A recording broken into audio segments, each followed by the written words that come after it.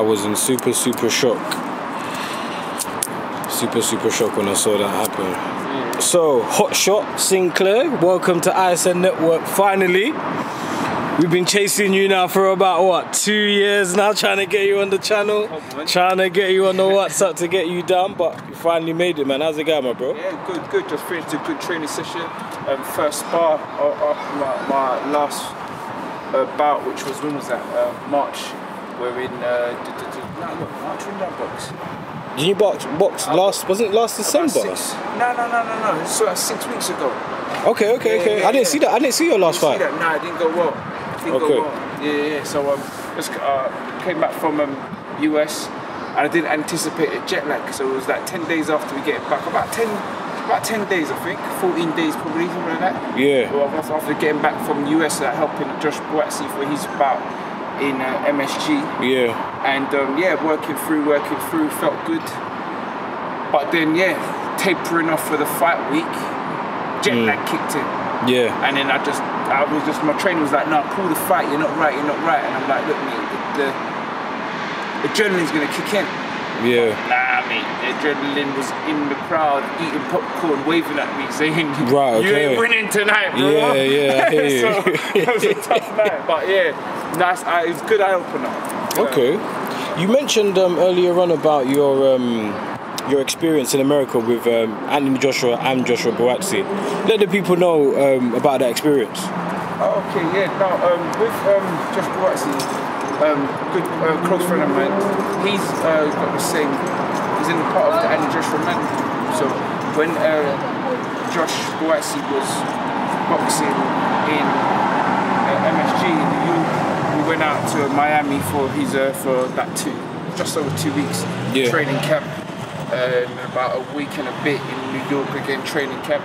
It's good to see how, how everything's done out over there at a higher level. And it's just it was, it was it was comforting to see that the way things were done, that our trainer in the UK has got is, is on the right track. So yeah, we, we felt comfortable and was doing everything. So yeah, it just seeing the difference between the US Commission Yeah. and the British Boxing Board of Control. But it was um, yeah, it was a good experience. Okay. Let me just wait for that guy to go. Um, so, with the last fight, he was talking about. He said it didn't go well. What was what happened? Because I didn't watch the fight. Did you? Was it a loss? Yeah, was- yeah, yeah. Okay, cool, cool. What happened. I lost on points. Okay. So now, again, like I said, um, it was the opportunity, but a boxed on the matchroom card, whatever. Then, um, yeah, got close to the fight. That we, we found out in the states about the fight date. So I was like, Okay. yeah, I'm gonna do it. I'm already been training, Yeah. already part of the training camp. So I'm halfway there. It's only three weeks, and then I'll be boxing. So then got back. So we're training throughout the US, training and training. Everything's nice. Got back to the UK, a day's rest, two weeks solid training. Again, everything was nice. But it's that week of the fight week Okay. where you start tapering off. That's when the jet lag hit. Okay. My trainer's watching me and says, "Oh, you're a little bit off. Did you peak too early? Whatever, whatever. I want to. Let's call the sh- call the fight. Don't fight." And I Mm. said, "Mate, it's gonna be fine because how I getting through the training camp. How I getting through the sessions. Yeah. We're gonna um, uh, the adrenaline will, will see me through. It'll be alright when I wake up. Someone's trying to hit me. Obviously, Yeah. I'm gonna, I'm gonna my reflexes wake up." But it was on the night. It was mad. It just wasn't meant to be That's on that it. night. It was a situation of I could see everything, so I could either block or get out of the way. right. But when it was time to return, it was everything was just too late, but too slow. Okay. So it was really, uh, I, would have lost on the aggression. So Okay, I'm waiting yeah. for him so that I can land because Yeah. my my offense was too slow. So I Okay. had to wait for him, and I would land, catch, catch, land. But it was just, it was just not as sharp as I usually am. So Okay. yeah, that's what it was. You said it was on a matchroom card. Who headlined? um, it was Conor Benn headline. Oh, you mean the next gen? Yeah, yeah, Okay, yeah, you yeah. fought on the next gen. Okay, Yeah, cool. What did you think of Conor Benn's fight? Oh come on, he's explosive. Conor Benn, yeah, he's always exciting to watch. Always Okay. exciting. He's a nice, and the thing that like what- what's good about him as well, he's a nice guy. Talking to him, he's got time for you, whatever, whatever. Okay. I've, I've open con- conversations. Certain time I've been with him at ringside, and we we will we'll critique fights Or we'll- Okay. we'll say, oh, who do you think? And. So yeah, he's got a good boxing brain and so forth. So yeah, he's always good to watch from his ferociousness in the ring and him being a nice guy out. of the ring. Okay, talk to me about this new deal you've got with um, Dillian Whyte. Um, talk to me about it. Sounds quite exciting. Okay, yeah, yeah. My um, management contract was uh, came to an end with my old manager. Then uh, I was part of a uh, tournament, and in that tournament, so I re-signed with him. Yeah. And in that tournament, um, it didn't see us through to the end. So then it was got to a point where it was kind of sticky for us both. So we left amicably, so uh, in in a good way. And then um, I thought, you know what? I'm, I'm so high risk at low reward. I can't see what's happening. I've known Dillian for over 10 years, 10, 12, 15 years, I think. So it's like talking to him about it. He just said, look, you've been you always been messing around. I've been trying to um, help you out for a while. Come and let me manage you. We'll sort things out for you. And then from then, that's where it just went. It was really just like there was not really much to say because he's the one that spoke to me about turning pro because I was always helping other fighters, whatever.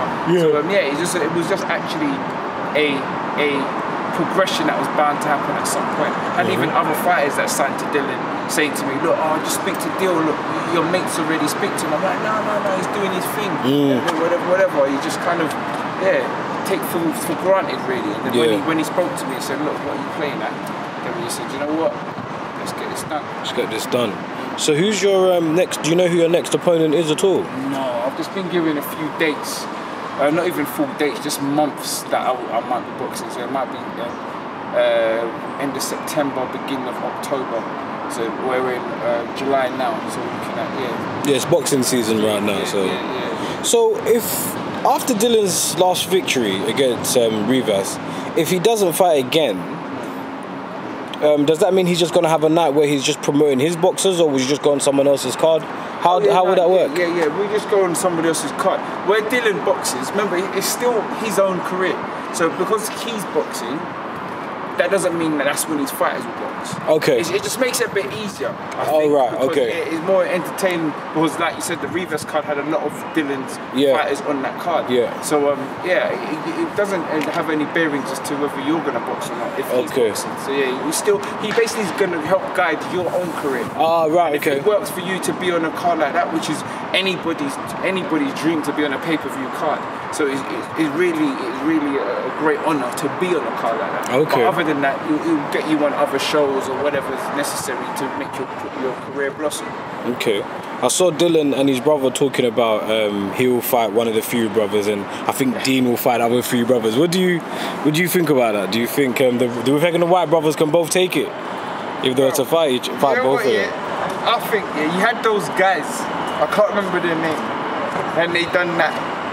Do you like KSI and the thing? they Yeah, done yeah, that yeah. YouTube thing. Yeah. Now, those guys are not for anything to do with boxing. Right, yeah, Now, yeah. If you can, if you were to make a card, Dillian, Fury, and then their brothers on the undercard, Yeah.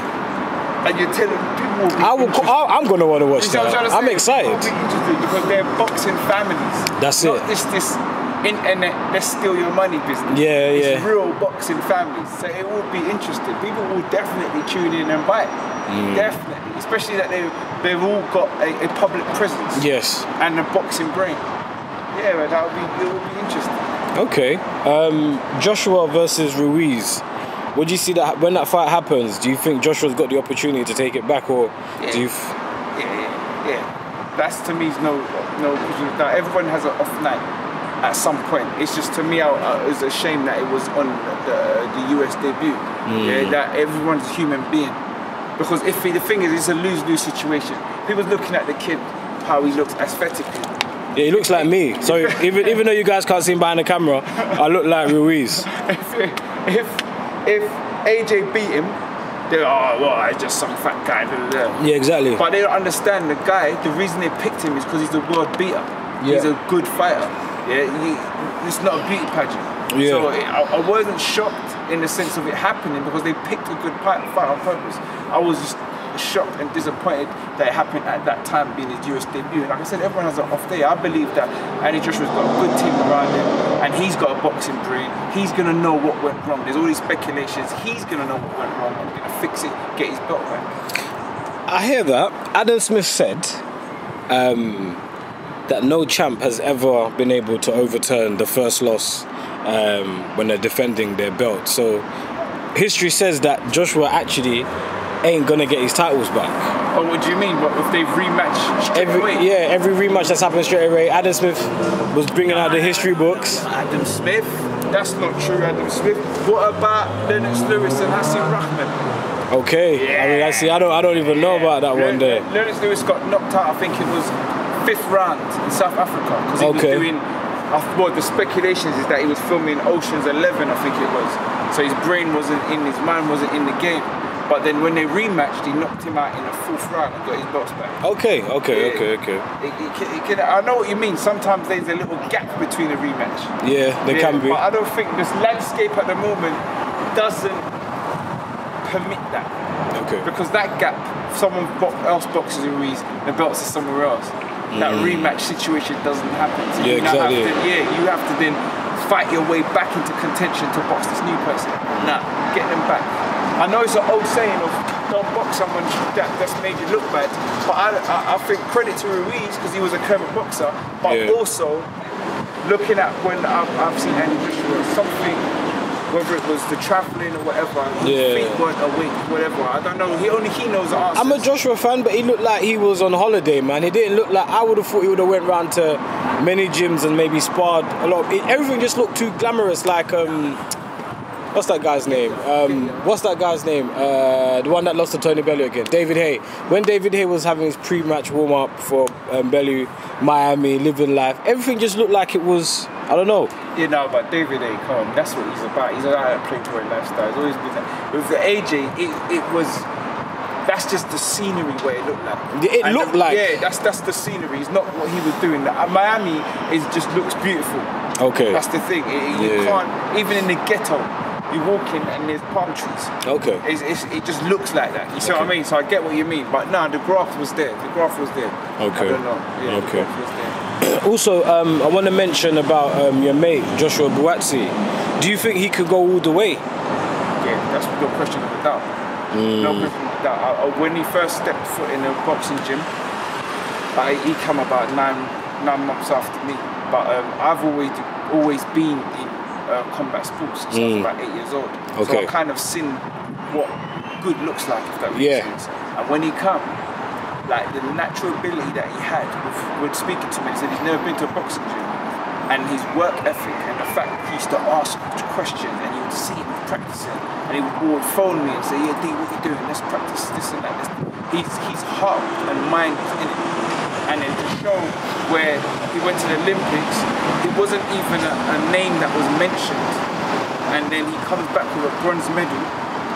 And I always say to him, when you press the red button, we used to watch the Olympics. I didn't get to go out there. Yeah. I had a fight during the time Okay. he was meant to be out there. But if he went to BBC, press the red button, his face would come.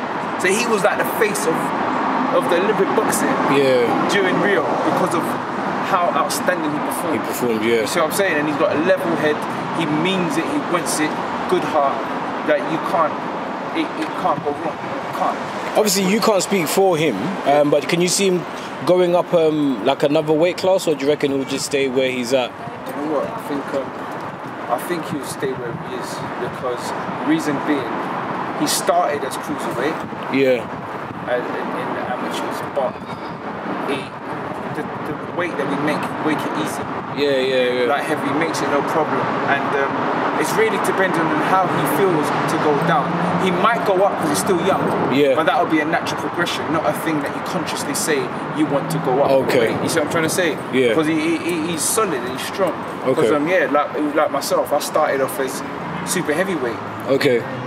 in amateur boxing, and then I just naturally training without thinking about dropping weight, and I Yeah. end up at light heavy. So Okay. it, it maybe when you and I've never, I haven't gone up. Yeah. So maybe his stature, like he's 26 now. It might be his, that might be his. Okay. See what I Okay. mean? Might be his stamp. Yeah. Um, last question before I let you go, because I know you've been quite busy. Um, Yarde Kovalev, I need your boxing, quick analysis on what you think is going to happen on the night. Yeah, uh, that's a good one. Do you know what? It's hard to call in the sense that I just feel well done for Yarde and his team because it, it, again it's a win-win situation. They first everyone's saying, "Oh yeah, you're not fighting anybody." Then he, then now he's fighting someone. People are saying it's too early. Yeah. So if he does lose to Kovalev, so what? You, everyone will say it's too early. You see what I'm saying? This is Okay. a Hall of Famer. He's a unified champion. If he beats him, that's outstanding. So all I'm saying is well done for even getting the deal done and stepping in the ring because it's win-win. That's what I think because you, I, I'm not even going to call it and say oh this and that and he looks this way and whatever. I just think just go prove everyone wrong. Do what do you? You see what I'm trying to say? Yeah. Because it's a situation no one's gonna be happy. When there's people that's gonna critique, no one's gonna be happy. So you just go. It's a win-win situation. So go there, lay it all out, and the outcome be what it is.